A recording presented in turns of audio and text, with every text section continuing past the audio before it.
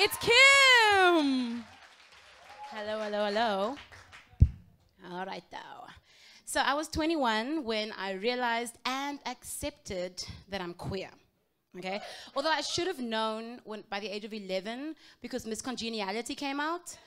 And every time Sandra Bullock would appear with like that gun in the waist, I would rush to my bedroom, fold my yellow teddy bear in half, and just like proceed to like pump it.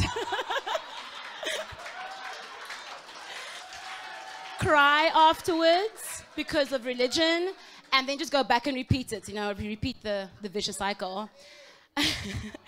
anyway, so I was 21 when I realized and accepted that I was queer and I was like loving of like all people and whatever. So this person, oh, she was so hot. I loved her so much. I still love her. She's my friend. She lives in the States. Anyway, um, so one day, I mean, she's a Scorpio, so she liked to pull out my soul. Like I was making all the moves. I'm the baby queer. I'm like, oh my God, I love you so much. I'm trying all my moves. Doesn't work. Like she is just like, not working out, she's pulling at my soul. Anyway, one day she invites me back to her place and like we make out for like hours, okay? And I'm so wet. Like I'm like, can this person just go down on me already or do something so I can feel something, right?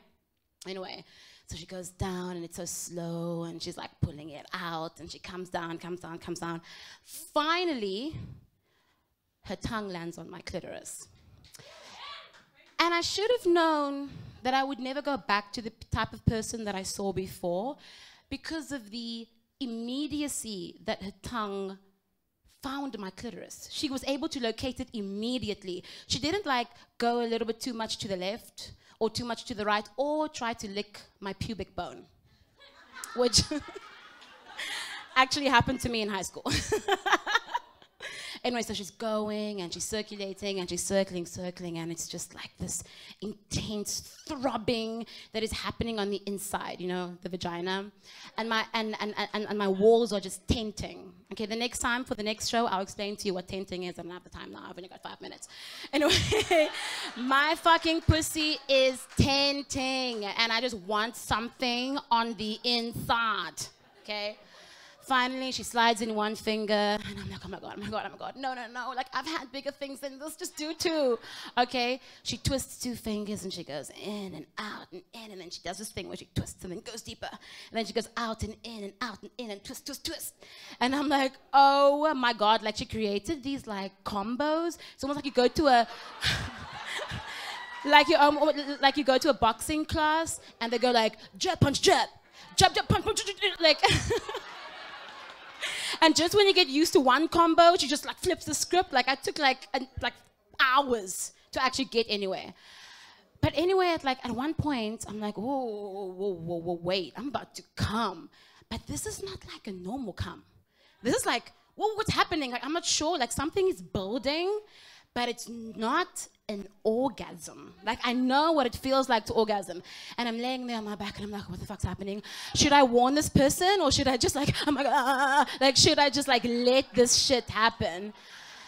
Anyway, I let this shit happen and the next thing, like I feel water going or something that feels like water going down my ass and like and I feel things like squirting against my thighs, and I'm assuming that it's going into her face, and it's like like it's everywhere.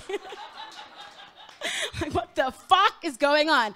So I look down, I'm like, oh my god, oh my god, I'm not sure what happened, but this was fucking amazing. And she had these long eyelashes, and she like opens up her eyes, and there's these thick droplets just like dropping down, and she's got this massive smile on her face.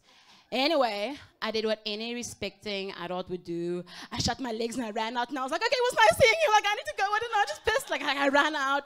And then I did what any respecting millennial would do when I'm sitting in the car. I can't drive yet because, like, what the fuck happened? My pants are wet. and I Google what happened to me. and that was the first time that I squirted people. Now, for those, because I'm assuming there's a lot of you in this room that doesn't, that you don't know what squirting is. I'm looking at some of you and you're like, what? I've never made someone squirt before. wow. I'll explain to you what squirting is. It is when the vaginal walls, right?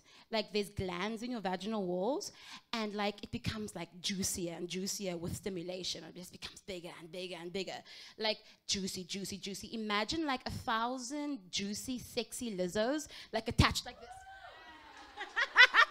to the walls of your vagina until the point comes where they can't take it anymore. Like it's just so full and it becomes so heavy that it just explodes and you just fucking squirt. Now, sometimes a squirt can be like a silent tear. and other times it's like when you take these two fingers, you open up the hose pipe, you put a thing like on everyone. It really depends on the mood. Anyway, in the beginning, when you start squirting, you won't be able to control it like a superhero. Like, you know, like Spider Man couldn't do it in the beginning, like, couldn't like control it. and then like someone could just like looked at me from the side and then I'd be like ah like I'd come like I like like squirt everywhere. Someone was just bumping to me in the street and like ah, like what happened? I don't know how to control my fucking power. Anyway, now I know who deserves squirting and I can hold it in if I don't like you. But I still want to come. Thank you.